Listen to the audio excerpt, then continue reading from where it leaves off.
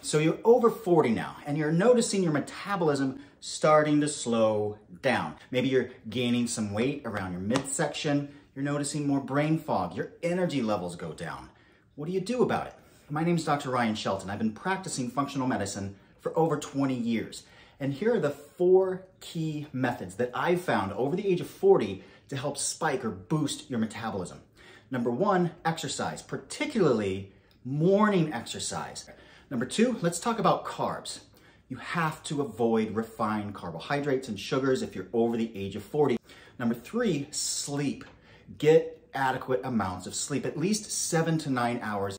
And number four, water. Both the internal intake of adequate hydration and the external application of water. Check us out on our other social media pages we've posted on so many health topics. And if we haven't posted one that you're interested in, let us know.